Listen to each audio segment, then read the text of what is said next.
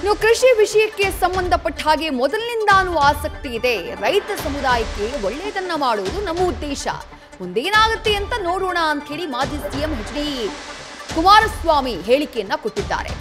ನಿತೀಶ್ ಕುಮಾರ್ ವಾಜಪೇಯಿ ಅವಧಿಯಲ್ಲೂ ಬಿಜೆಪಿಯ ಜೊತೆಗಿತ್ತು ಬಿಜೆಪಿ ಜೊತೆ ಬಹ ಬಹುಕಾಲದಿಂದ ನಿತೀಶ್ ಸಂಪರ್ಕವನ್ನ ಹೊಂದಿದ್ದಾರೆ.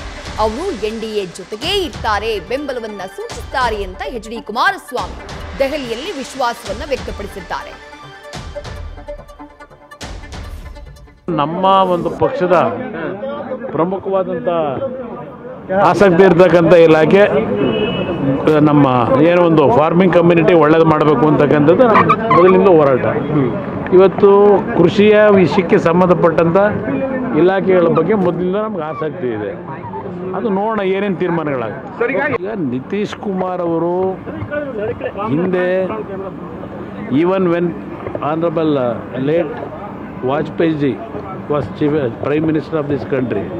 At that time also, he worked with BJP. He had a long relationship with BJP.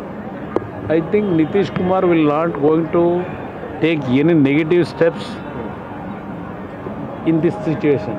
But we are going to solidly, I think my conscience will, is telling that he, will, he, was, he is, he is going to solidly stand behind Narendra Modi. News first. ನಿರ್ಭೀತಿಯಿಂದ ನಿಮ್ಮ ಪರವಾಗಿ.